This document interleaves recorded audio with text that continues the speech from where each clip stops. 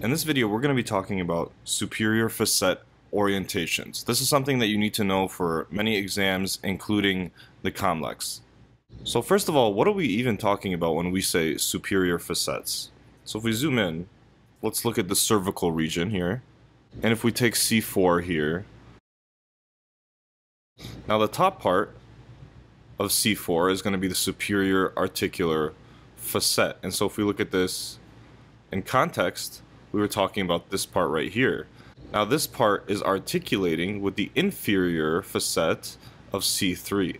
Now what we're talking about here is simply the orientation of the facets. So what do these facets here actually look like?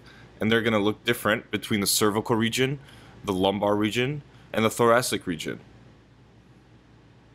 So to take another example, in the thoracic region, if we hide this one above it, what we're looking at are these facets. Notice how this is a little bit different than how they looked up here.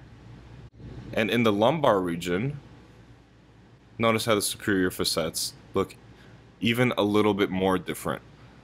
So what do you need to know for the COMLEX or for exam purposes? So let's start a chart. And on the left side, we're going to have location. On the right side, we're going to have orientation. So what do you need to know? In the cervical region, the superior facets are oriented backwards, upwards, and medial. So bum, that should be easy to remember.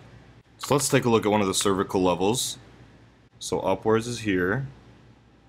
Medially is kind of hard to see, but you see uh, on the side that there's a little elevation, so there's a little bit of medial. And of course it's backwards. It's facing the back.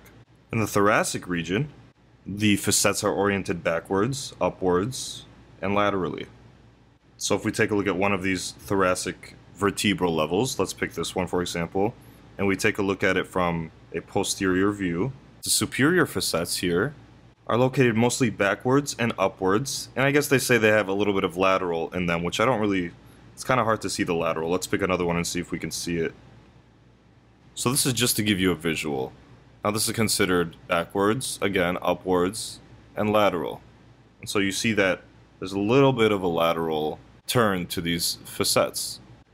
And then we have the lumbar region, which is the most distinct, which has the same orientation as cervical.